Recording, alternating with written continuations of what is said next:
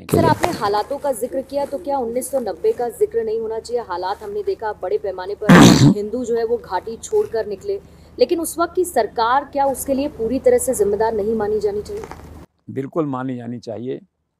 इसको आप यूँ मानिए कि 19 नवंबर 1990 is the black day of Indian history is the black day of Kashmir secularism Kashmir की धर्मनिरपेक्षता उसका ब्लैक डे है। उसमें का सेंटिमेंट था ये। हिंदू परिवार डूब के घरों के अंदर जा कर के जो है, उनको समझ नहीं आया कहाँ जाएँ। फ़ोन करते थे कहीं से तो राजभवन का फ़ोन नहीं उठा। यहाँ पे आर्मी का फ़ोन नहीं उठा। तो कश्मीर की सड़कों पे उस दिन कोई कानून नहीं था, कानून का राज नहीं था, कोई सरकार नहीं थी। जो राज्यपाल थे, जगमोहन, वो उस दिन वहाँ पे जम्मू गए हुए थे। उड़े वहाँ से, मौसम ख़राब था, वापस लौट गए वहाँ पे तो कमान देने वाला नहीं था यहाँ पे। तो सारी रात उपद्रव की स्थिति रही यहाँ पे। इसीलिए बहुत ख़राब दिन था, सारे फिर उस दिन हिंदू भगाए गए, हिंदू चले गए। तो उस घटना कश्मीरी पंडितों से जोड़ के जब जब उसकी याद आती है तो लोगों के रोंगटे खड़े होते हैं।